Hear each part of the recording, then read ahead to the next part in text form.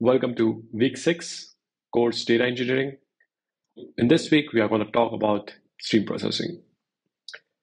Basically, we are going to look at what is stream processing, what is Kafka, and how does Kafka plays a role in stream processing, some of the message properties of stream processing, some of the configurations parameters which are specific to Kafka, like partitioning, replication, retention, uh, time spanning in stream processing. We are also going to look into Kafka producers and Kafka consumers and how to consume programmatically or produce programmatically data to Kafka.